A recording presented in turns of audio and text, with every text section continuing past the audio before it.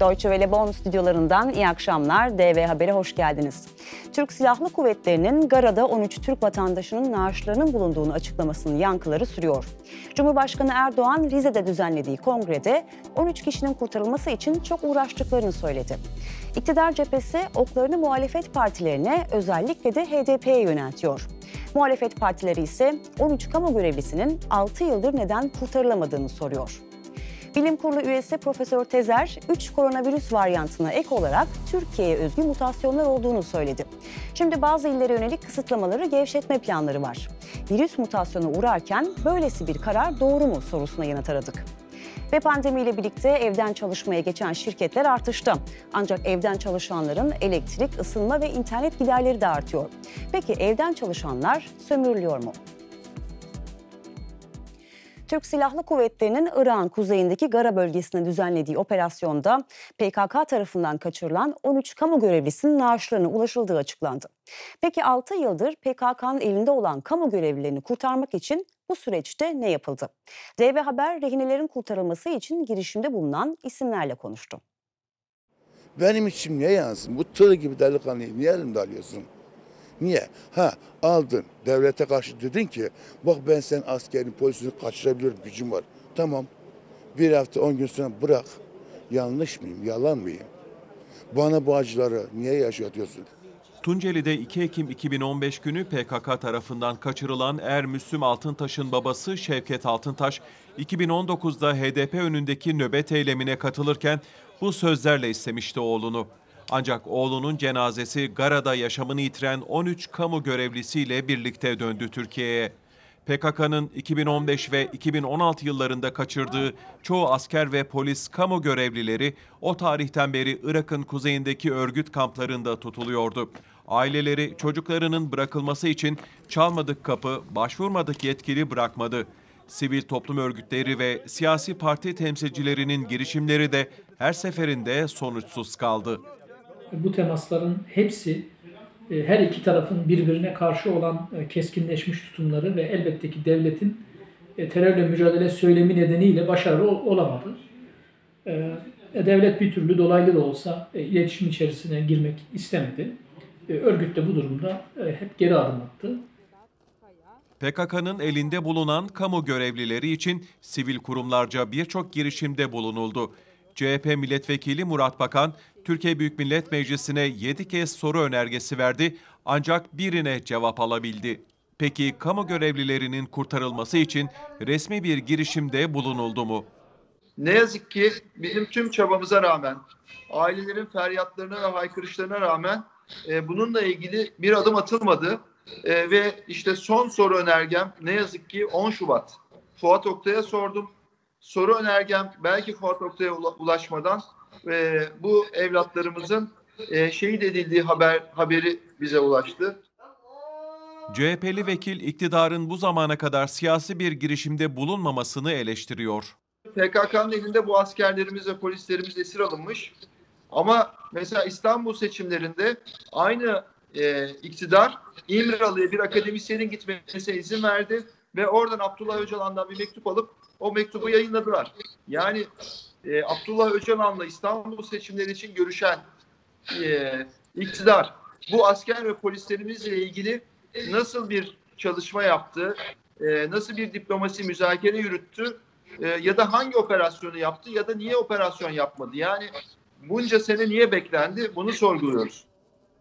Milli Savunma Bakanı Akar, 13 Türk vatandaşının PKK'lılar tarafından infaz edildiğini duyurmuştu.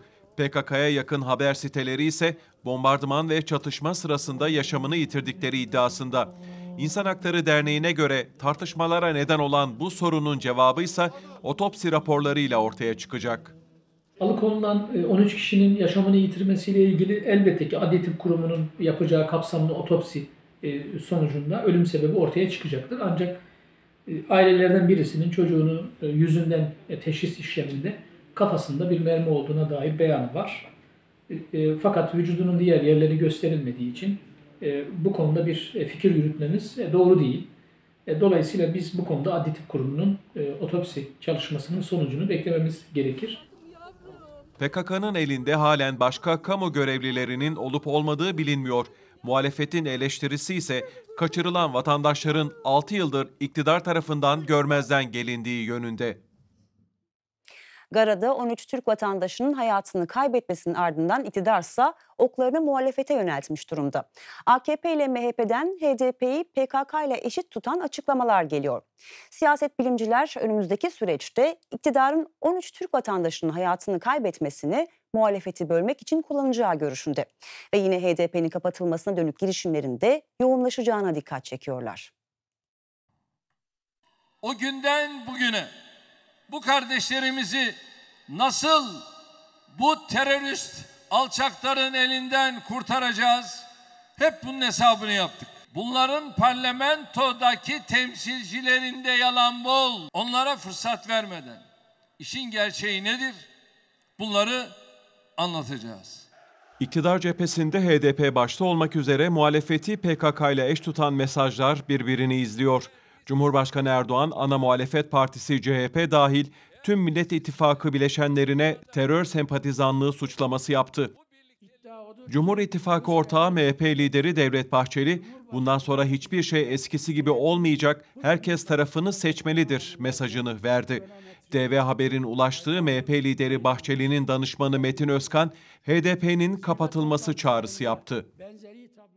HDP'yi kimse hedef tahtasına falan oturtturmuyor. HDP PKK'ya PKK demiyor. Terör örgütüne, bebek katillerine bizim silahlı gücümüz diyor. HDP zaten kendisini PKK'nın çizgisine oturtturmuş bir e, siyasi yapı. O yüzden de terörle arasına mesafe koymayı bırakın. Terörü kınamadığı sürece ben şahsım adına kapatılmasını düşünenlerdenim. HDP'ye göre ise iktidar siyasi linç operasyonu yapıyor. Bir tek kişi bile canını yitirmesin, gençler alıkonulmuş olan gençler sağ salim evlerine gelebilsinler diye uğraştık. Bu konuda söz verdik. Yapabileceğimiz her şeyi yapacağımıza dair çok açık kamuoyu önünde söz verdik.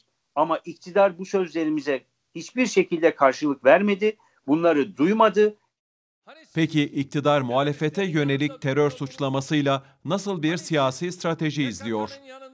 Eğer e, oraya giden askerler bu e, rehin alınmış, zorla tutulmuş insanları geri getirseydi bunun üzerinden bir hikaye anlatacaktı iktidar. Oradaki insanlar şehit oldular. Bu sefer bunun üzerinden bir hikaye anlatıyor. Bunların tamamı da kendi kitlesini konsolide etmek için yani elindeki malzemeyi e, her şeyine kadar kullanma yeteneği olan bir e, iktidar söz konusu burada. Siyaset bilimci Berk Esen uzun zamandır gerilim içinde olan Ankara'da siyasetin daha da sertleşeceğini öngörüyor.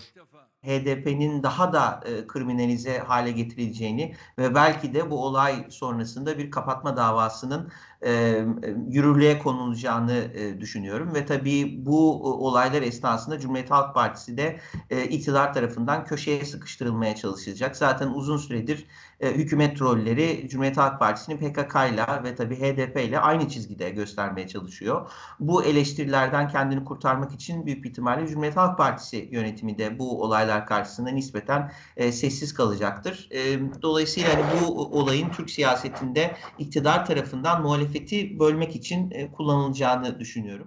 Milli Savunma Bakanı Hulusi Akar'la İçişleri Bakanı Süleyman Soylu, Gara'da yaşananlar konusunda Salı günü Meclis Genel Kurulu'nu bilgilendirecek. Cumhurbaşkanı Erdoğan Amerika Birleşik Devletleri'ne de suçlamalarda bulundu bugünkü konuşmasında.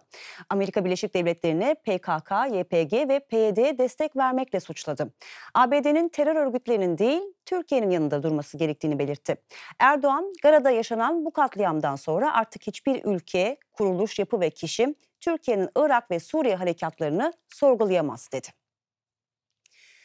Bilim Kurulu üyesi Profesör Hasan Tezer'in verdiği bir demeç, Türkiye'de bilinen 3 koronavirüs varyantının yanı sıra Türkiye'ye özgü mutasyonların da olduğuna işaret etti. Mutasyonlu virüslerin türleri, illere göre durumu, yayılma hızı gibi verilere ilişkinse şeffaf bir bilgi paylaşımı şimdiye dek yapılmadı. Vaka sayısına göre bazı illerde kısıtlamaların gevşetilmesi planlanıyor. Peki mutasyon etkisi dikkate alındığında bu salgının bu aşamasında yeniden açılma ne kadar riskli? Türkiye'de Covid-19'a yakalananların sayısı 2 milyon 600 bine yaklaşıyor. İngiltere, Güney Afrika ve Brezilya'da görülen mutasyonlar Türkiye'ye de sıçradı. Bilim Kurulu üyesi Profesör Doktor Hasan Tezer'in açıklamasına göre Türkiye'ye özgü mutasyonlar da var. Dünyada bulunan bu üç tane endişe verici varyantın kalıbıyla yüksek e, yükü yüksek olan hastalarda e, bazılarında bakıyoruz. Yani son derece kısıtlı bir materyalde tarama yapıyoruz. Eğer Türkiye'ye has mutasyon dediği şey küçük basit farklılıklarsa hiçbir anlam ifade etmeyebilir. Her coğrafyada var bu farklılıklar çünkü. Ama anlamlı bir hale gelmişse o zaman dünyadaki konsorsiyuma konulması gerekir e, ve e, ona göre bir izlem yapılması gerekir. Virüslerin çoğalması sırasında kaçınılmaz şekilde sayısız mutasyon oluyor. Bunlar birikip anlamlı hale geldiği zaman orijinal virüsten farklı bir virüs ortaya çıkmış oluyor. Küçük farklılık varsa buna varyant adı veriliyor. Yapılan çalışmalar İngiltere varyantının daha hızlı yayıldığını ortaya koydu. Kaç çeşit mutasyon var ve bu mutasyon e, türleri nasıl hareket ediyor? Aşılar karşısında nasıl hareket ediyor? E, aşılar güvenli mi? Aşılar etkili mi e, bu konuda? İkincisi bunların bulaşma hızı ne kadar?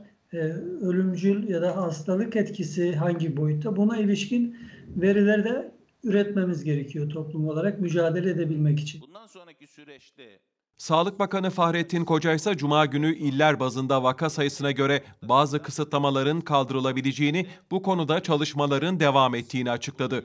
Peki mutasyonlu virüslerin ortaya çıktığı salgının bu aşamasında kısıtlamalarda gevşemenin başlaması riskli mi?